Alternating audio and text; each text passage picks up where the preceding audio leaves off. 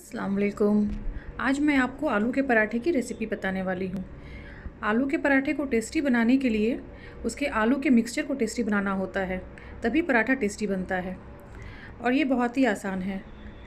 तो चलिए, मज़ेदार सी आलू के पराठे बनाते हैं हम लोग। सो लेट्स गेट स्टार्टेड सबसे पहले मैंने यहाँ पे तीन बॉयल पटेटो लिया है। ये मीडियम साइज़ का पटेटो है। और उसके बाद मैं इसे ग्रेट कर ले रही हूँ। ग्रेट करने से क्या होता है? लम्स नहीं रहते हैं और बेलते वक्त हमारा पराठा फटता नहीं है। तो आप भी ग्रेट कर ले। उसके बाद मैं इसमें डाल रही हूँ तीन ग्रीन चिलीज़ और एक इंच अदरक का टुकड़ा बारीक कटा हुआ।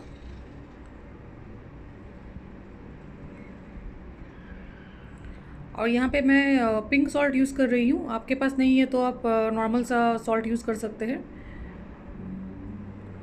अपने टेस्ट के हिसाब से आप सॉल्ट डाल दें और मैं वन टीस्पून चिली फ्लेक्स डाल रही हूँ, ये ऑप्शनल है।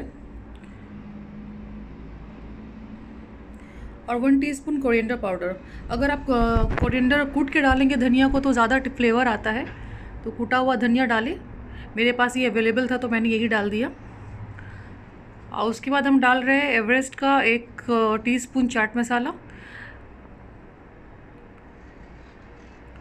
और फ्रेश कोरिएंडर लीव्स मैं दो मुट्ठी भर के डाल रही हूँ। उसके बाद इसे हल्के हाथों से मिक्स करें और उसके बाद इसमें डालेंगे red chilli powder one teaspoon spice आप अपने हिसाब से एडजस्ट कर सकते हैं। ज़्यादा तीखा चाहिए तो आप ज़्यादा डाल सकते हैं। और यहाँ हमारा पोटैटो मिक्सचर रेडी है। और यहाँ ये यह आटा देखिए मैंने एक घंटे पहले ही इसे गूंद कर रख दिया था और ये काफ़ी सॉफ्ट आटा लगाया है मैंने यहाँ पे। अगर आप सॉफ्ट आटा लगाएँगे तो बेलने में बहुत ही आसानी होगी आपको। और मैंने पेड़ा ले लिया है। नॉर्मल रोटी जो बनाते हैं, उससे थोड़ा सा बड़ा है, क्योंकि मुझे आलू के पराठे थोड़े बड़े साइज़ के अच्छे लगते हैं। तो इस तरह से राउंड कर लेंगे।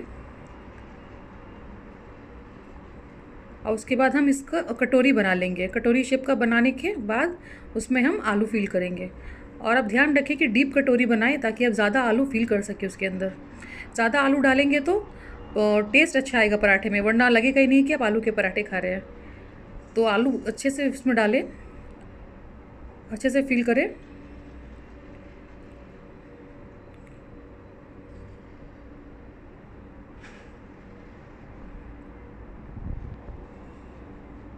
इस तरह से आलू डाल के हम थोड़ा आलू को दबाएँगे आटे के साथ, और उसके बाद हम इसको सील कर देंगे। तो इस तरह से धीरे धीरे मोड़ेंगे। बहुत ही आराम से, आसानी से हो जाता है ये। देखिए, उसके बाद हम जो इसका मुँह है, उसे बंद कर देंगे। हल्के हाथ से गोल गोल ऐसे घुमाएँगे आप तो वो अपने आप ही सील होता जाएगा। और बहुत स्मूथली सील करना है हमें। देखिए, इस तरह से।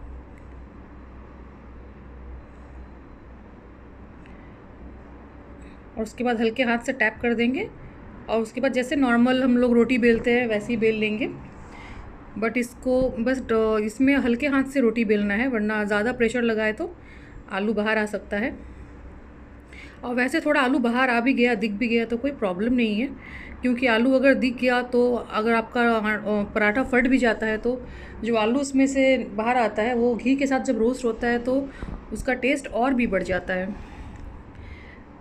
तो कोई टेंशन नहीं है, अगर आलू दिख भी रहा है, थोड़ा बहुत आपका तो चल जाता है।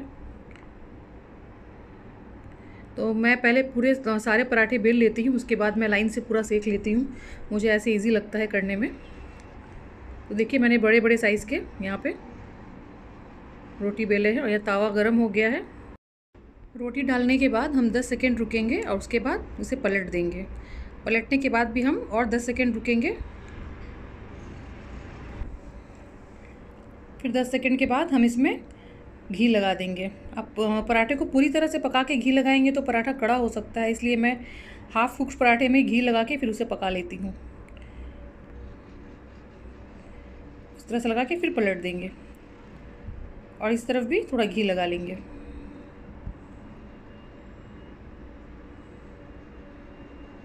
और इसे दबा दबा कर हमें सेकना है। अगर आप दबा कर सेकेंगे तो रोटी अच्छे से पकेगा कॉर्नर को हमेशा याद रखें, कॉर्नर ना भूले, दबा दबा कर सेक ले चारों ओर। और देखिए हमारा आलू का पराठा कितना टेस्टी लग रहा है देखकर।